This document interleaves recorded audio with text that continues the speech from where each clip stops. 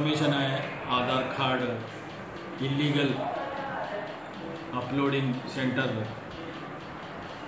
चार महीने से रन हो रहे बोल के। आधार कार्ड गवर्नमेंट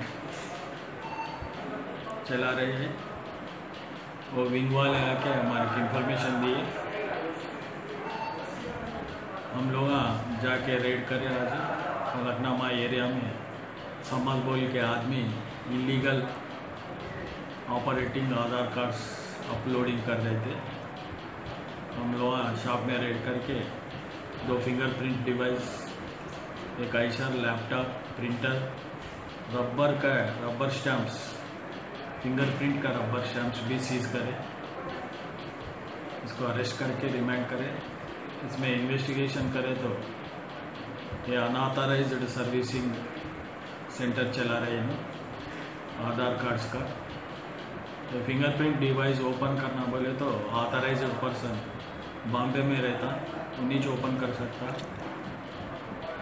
उन इनसे मिलके एक रबर स्टैम्प तैयार करके दिए फिंगरप्रिंट का। वो फिंगरप्रिंट रबर स्टैम्प से डिवाइस ओपन करके यहाँ लोगों से अपलोड कर रहे। उन लोगों से पैसे ले रहे थाउज़ेंड से टेन थाउज़ेंड तक ले रहे।